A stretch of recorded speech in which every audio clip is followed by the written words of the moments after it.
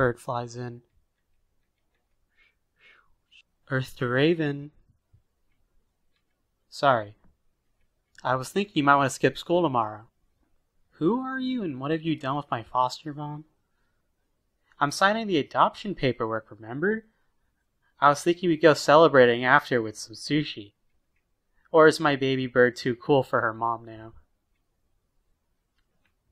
Unless that's not what you want.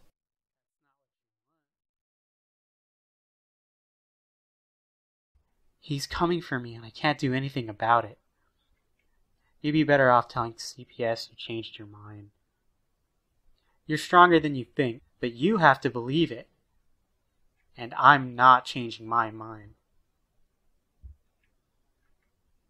Wipes her tear, and then in sync, I won't let you go into the unknown alone. And she's like, I don't know how you can say that all the time. And she's like, Cause it's true, baby bird. Light changes. You're the best. Mom, watch out! Wing comes out. Ah! Raven! Wing fades. Uh,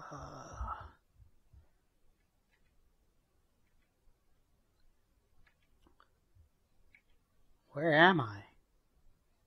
Who is she? I've got to get her some help. Kicks the door. Uh, unbuckles her seatbelt. Starts walking. Doesn't make it far.